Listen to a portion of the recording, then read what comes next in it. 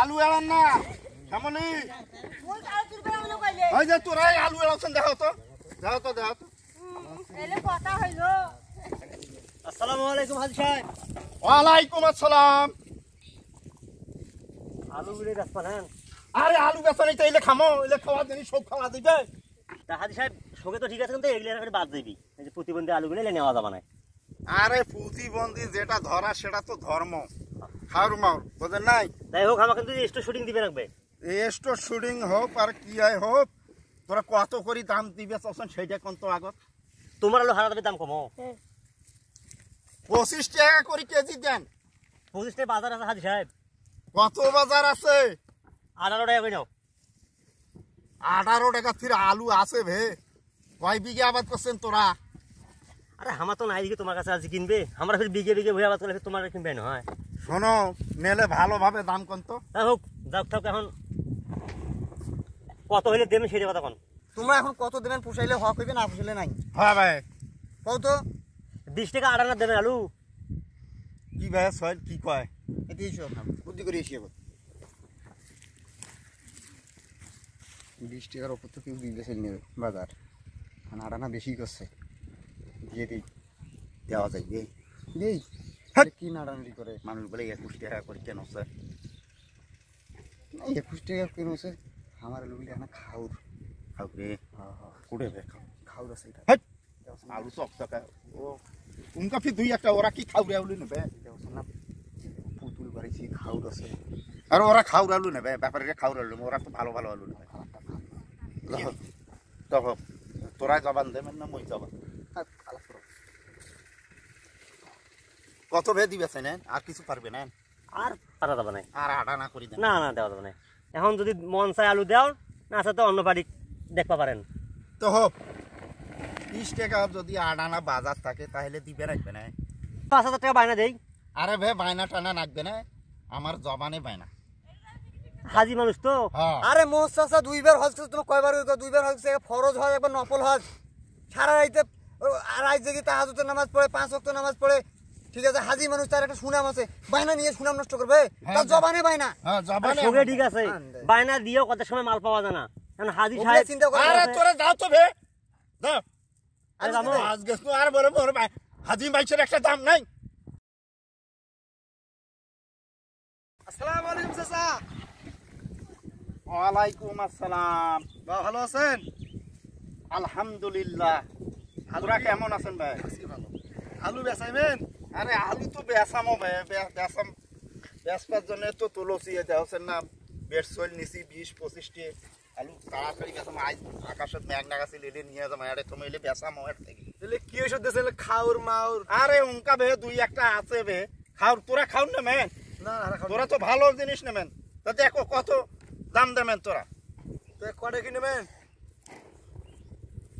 আরে বাইশ টাকা করি চলছি। বাইশটা বাজার আছে তোরা আরও হয়েছেন হাজি মানুষ কম কেজি তোরা বেশি যান। কত বাজার আছে বে। উনিশ টাকা করে নাও? ওগুলো বাবা আলু হাবা নাই ওই দামত। তোরা আলু কিনবে আইসেন নাই মস্করা করবে আর। কেসে মস্করা করবে এসে এই একুশ টাকা দিবেন ম্যাম আর রকম না টাকা যদি আরে আমার কিসের পাইট আছে? আমাকে চলবে এক মিনিট না টাকা তোরা দিবে জিনিস ভাই। বাড়ি তোরা একুশ টাকা দিবে কিন্তু ছোট বড় যে ট্যামনা টুমনে খাওয়াটা নিবে নেই বুঝেন। আরে উলে তো বাসি দে মোবাইল। টাকাটা বার করি। যাও ভাই। ছয় হাজার ফিট দশ পাঁচ হাজার নেন তোমার আলু বেচাই নেন। হ্যাঁ। কত করি? তোমার না বিশ টাকা আটানা এই যে আগে যে ব্যাপারীটা আইলো লেটন ব্যাপারী সেই লেটন ব্যাপারী না দেন হেই! দেখুন ব্যাপারে বিশ টাকা আডানা করছে ওটা আডানা বেশি। আটানা বেশি হোক তোমার যে ওটা জবান দেন জবান ওর মুখের ভেতর জবান তুমি বাইর করে দিছ হ্যাঁ? কথা কইস। এটা ঠিক করছেন? ভাই ঠিক কোনটা কো- হইবে না হইবে তোর গল্প শিখবে লাগবে। হ্যাঁ তুই আলু আনতা। তুই হাজি না মুই হাজি রে কয়বার হজ গেছ তুই জানিস? হ্যাঁ? নামাজ পড়িস না আর অমনি পাঁচ অক্ট নামাজ পড়ো মুই এক অক্ট কাজা করো না। আর আরে গলত পক্ষ শিখতে নাক ভাই জমানের দাম। চাচা এই যে মেহনত বস্তা আছে এও করো আলুগুলি আমাক ঠিকঠাক করে দাও। আরে আলু তো ভে মুই আরেক জায়গায় বেঁচে ফেলাইছো। ওটে মুই একুশ টাকা পাইছো আর তোরা বিশ টাকা আডানা ওটে সকালে তো তোমার সাথে আমার কথাই হইল যে একুশ বিশ টাকা আড়ানা করি তোরা আমাকে জবান দিয়ে দেন। কি বে চাচা?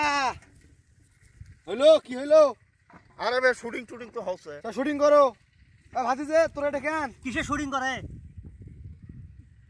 আলু সকালে হামাক দেন আলু। আর এখন ফিরে আরেক পার্টি এসে কথা হামাক আলু শুটিং করো।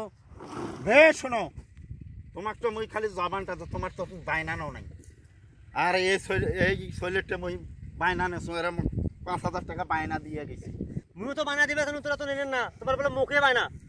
সকালবেলা দেন জবান আর বিকেল বেলায় জবান ঘুরি ফেলে দেন। তোরা হলে ক্যাঙ্কা হাজি।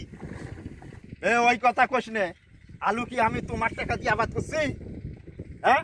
আমি যেখানে আটানা বেশি পাবো সেখানে দিছি। তাহলে সকালে হামাক দেন কেন? সকালে দেনেন কেন মানে? সকালে তো তোমার দেই নেই। দেরি মানে? তোর টাকা দিবে তখন তোরা নেন না।